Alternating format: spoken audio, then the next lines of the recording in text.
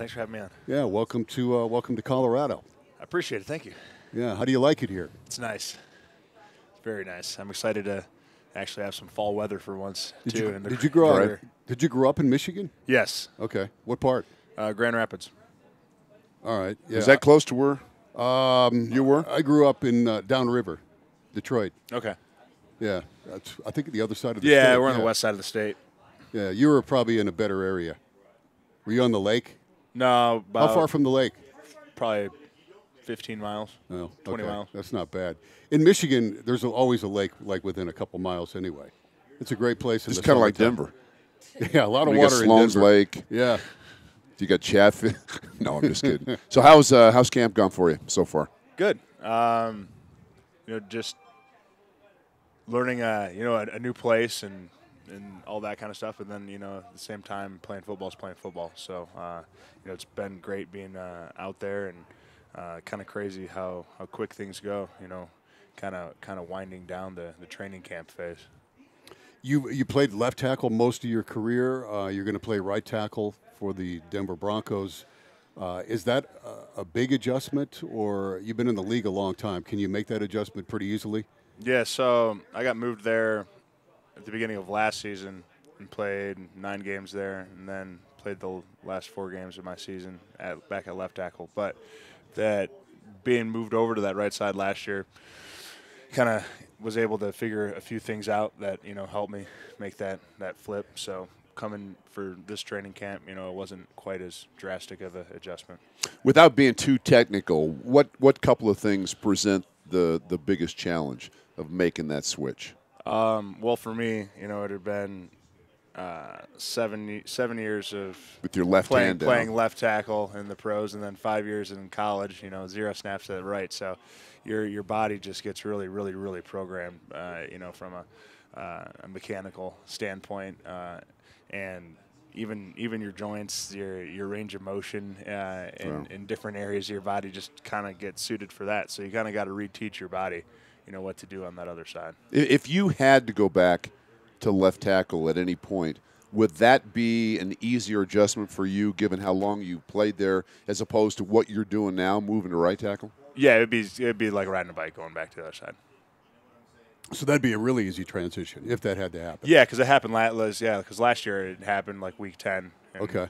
You know, that Wednesday practice went out there, and Right. you know, just felt like old times. You ever, you ever stop and think about the the unbelievable journey you've been on? I mean, I'm I'm not sure how many guys in the league uh, are from Hillsdale, right? I mean that that's just that you should be real proud of that. But I mean, has anybody has anybody else ever played at Hillsdale Community College and, and gone to the NFL? Well, it's not a community college. Let me just take that back. has anybody ever played at Hillsdale College and, Yeah. and gone to the NFL? Uh, yeah, so uh, Howard Mudd, who's you know who's who had been I in the NFL for a long, long time. You I played player for Howard. Coach, yeah. So he he was Hillsdale grad.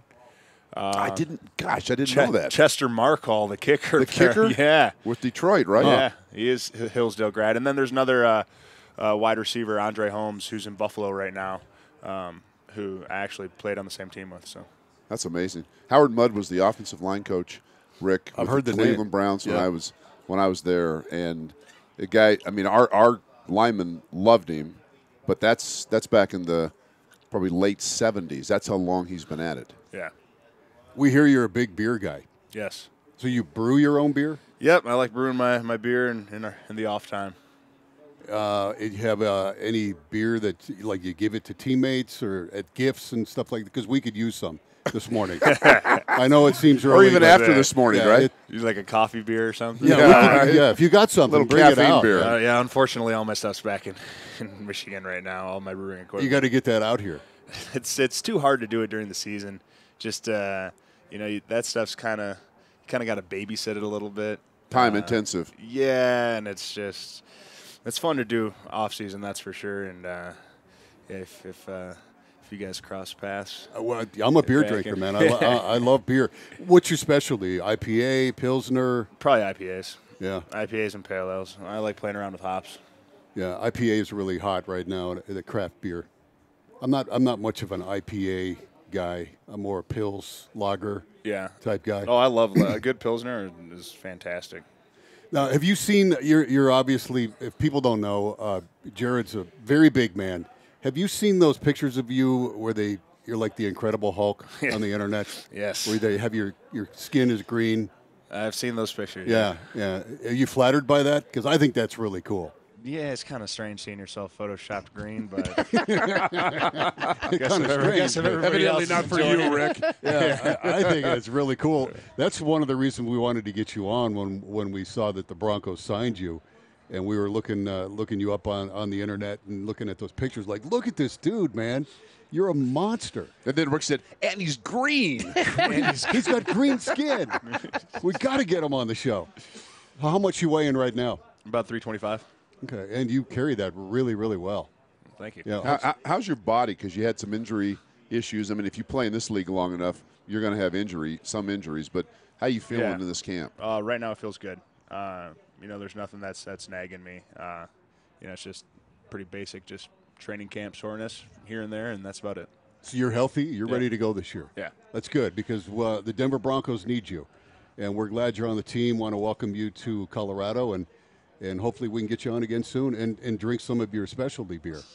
All right. we got to do that. All right. Thanks for stopping by.